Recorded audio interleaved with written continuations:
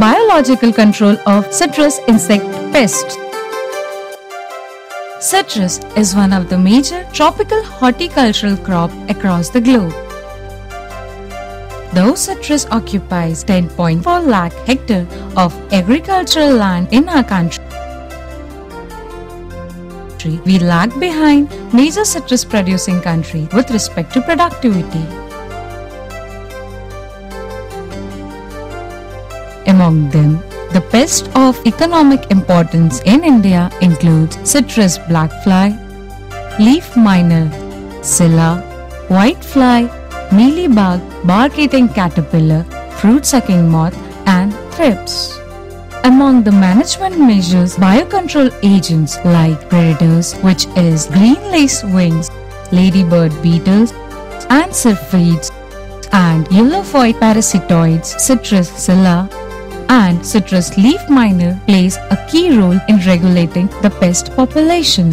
Among the biocontrol agents, Mallada desjardinsi is a major predator in citrus ecosystem. The larva of Mallada desjardinsi feeds on several soft-bodied insect pests like citrus blackfly, psylla, leaf miner, and aphids. The larva can be easily identified with its robust white brownish body carrying heap of carcasses on its back. Multiplication technique of Mallada desjardinsi has been identified by ICAR CCRI Nagpur in the Biocontrol Lab of Entomology section. Under laboratory conditions, rice grain moth Corcyra cephalonica eggs are provided as larval feed. The culture of rice grain moth has to be continuously multiplied for continuous supply of Corcyra eggs for Mallada multiplication. Multiplication of rice grain moth The artificial diet for the multiplication of rice grain moth includes a mixture of broken sorghum grains 50 kg plus groundnut kernel 5 kg and streptomycin which is added after oven sterilization.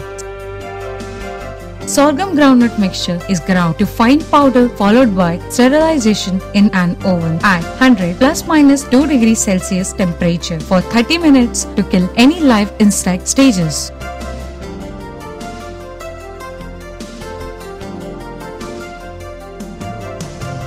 After cooling, powdered sorghum groundnut mixture is added at 2.5 kg per tub in plastic tub, followed by fresh or live eggs of rice grain moth at 0.1 cc per kg feed and streptomycin at 0.1 gram per 1 kg diet. Mix thoroughly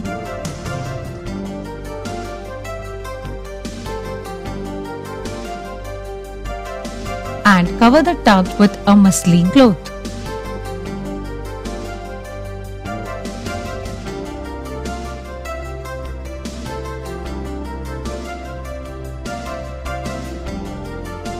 Moths start emerging after 40 to 45 days which continues for the period of one and a half months. Emerging rice grain moths are collected daily using test tube from plastic tub stacked on the racks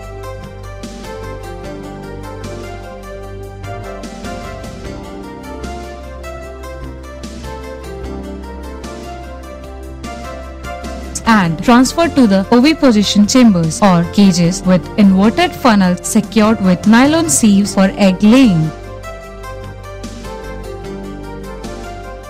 Cotton wad soaked in 50% honey solution is kept suspended in the oviposition chamber as adult diet.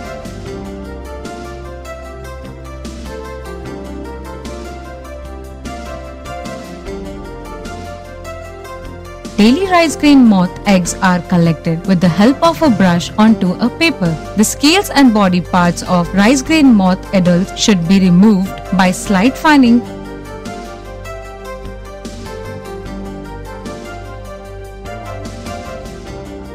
followed by sieving and are stored in homeopathic glass vials in deep freezer.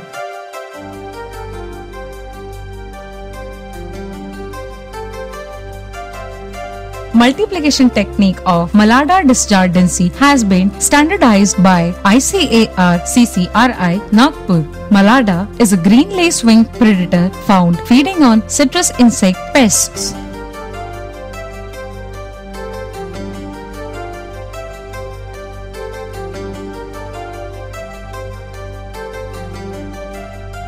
Oviposition chamber consists of sterilized plastic jars with black paper and fresh Nagpur mandarin twigs held in flask filled with water as oviposition substrate to induce egg laying by Mallada female. Cotton wad dipped in a solution consisting of Protinex 40 gram plus fructose 70 gram in 250 ml of distilled water.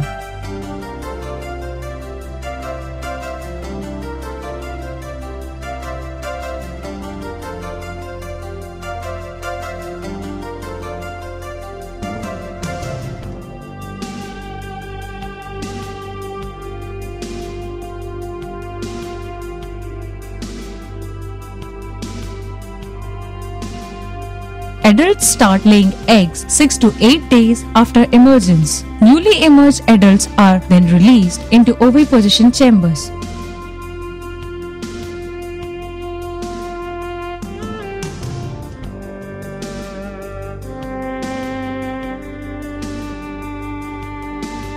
Freshly laid eggs are green in color and are stalked.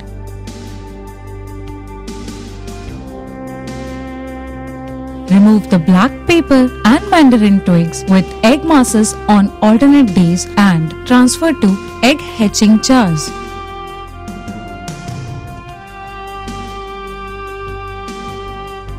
Folded paper strips are added to prevent cannibalism among the larvae.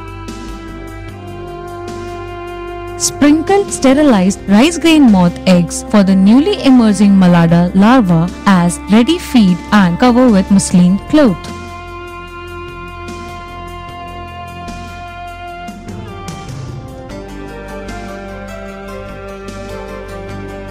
First and second instars are reared in plastic bottles with inactive rice grain moth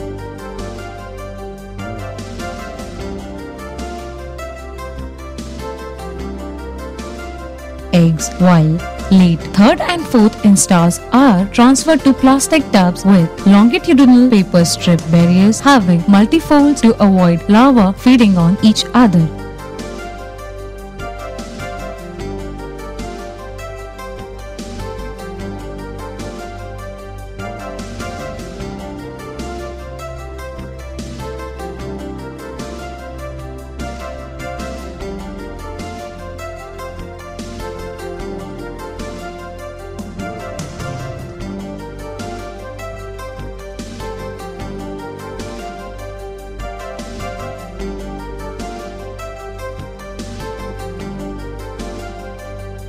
Collect 3 to 4 days old pupae in petri plates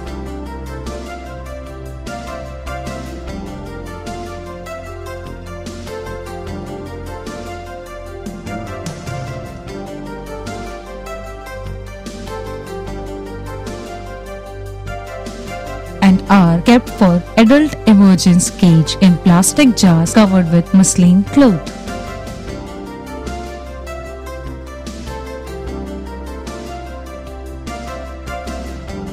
Adults emerge out in about weeks period which are collected daily and transferred to the oviposition jars.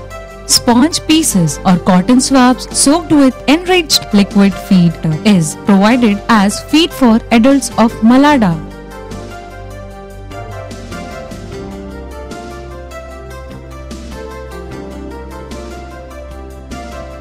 Field release Field release either egg cards or larva is recommended. Egg cards are cut at 50 per tree is stapled onto the foliage.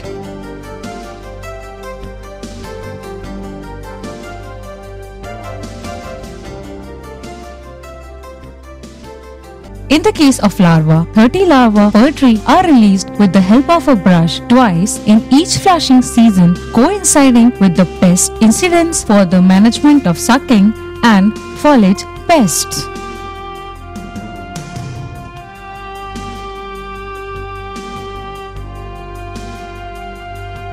Among other predators, coccinellid beetles like Cheilomenes sexmaculatus, Coccinella septum punctata, Cryptolaemus montrouzieri, Serangium parcesetosum, Scymnus species and Rodolia cardinalis are found under natural conditions in citrus ecosystem.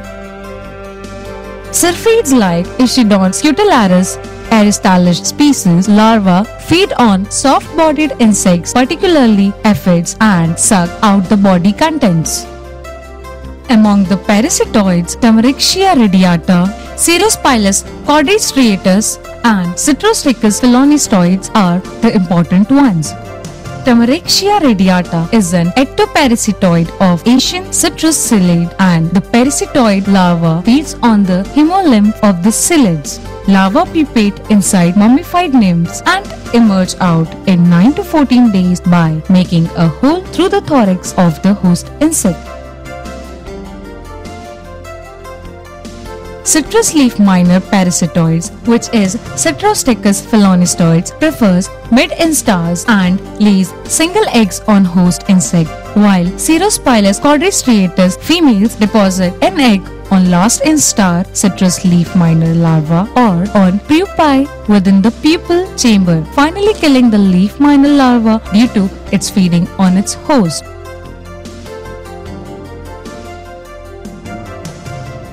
Use of neem oil, azadirachtin, neem soap, pongamia soap, petroleum spray oil and Lecanicillium lecanii can be integrated along with the bioagents for safe and effective management of citrus insect pests. Conservation of bioagents play an important role in biocontrol of insect pests. Avoid insecticide sprays during bioagent active periods like early spring and late winter. Also, conserve the natural buildup of parasitoids in the orchards by planting nectar-bearing flowering plants like marigold, castor, etc. on the buns.